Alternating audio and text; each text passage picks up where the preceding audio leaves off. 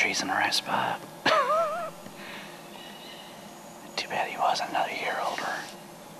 That's exactly what I was. Three, two, one. Well, it's early November in northern Missouri. Got Eric behind the camera. We've been at it a couple days. It's been really slow. That switch is gonna flip pretty soon.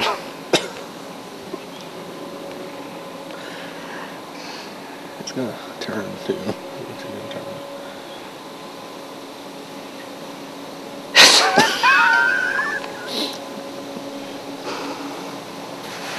It's early November and the hunt has really sucked if you can't tell. Well, oh, it's early November. We're in northern Missouri. Eric's behind the camera. We've been hunting for a couple days. It's been really slow. It's that time of year, though, that things can turn around just almost instantly. So we're hoping that's going to happen. Got some turkeys pretty close. And two turkey tags in my pocket, so we'll see what happens.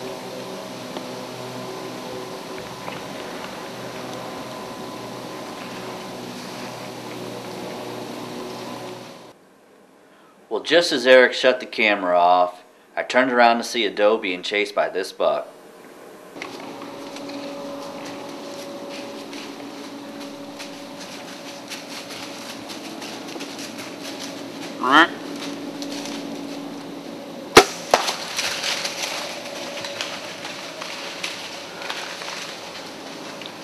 Go down, baby. We just climbed in the stand. Hey, this no fancy editing. No, that was. I just did three intros because we were laughing because I couldn't say that it's been slow as could be and it's got to turn around. Just turn the camera off, and Eric said there's some more turkeys on the other side.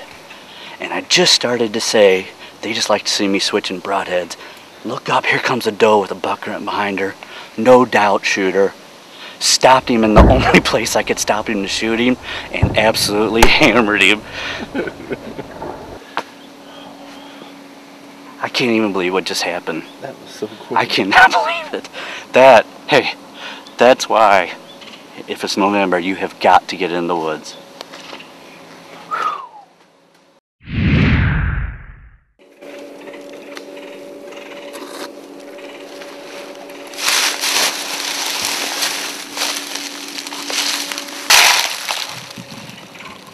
Blood trail is awesome. I mean, it's unbelievable. That fat head opening up good. Well, here he is. Nice Missouri eight pointer. Probably three and a half year old deer.